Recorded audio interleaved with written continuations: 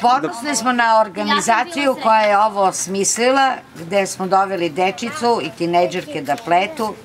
i to je zadovoljstvo, a u tome učestvuju bake,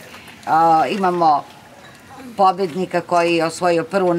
nagradu za prvu pretilju i tako da je ovo vrlo jedno lepo druženje i treba to sada da se prenese, da ima starije žene koje ne znaju da štrikaju, morat ćemo i njih da naučimo, jer se vraća etno u, u našu lepu Srbiju.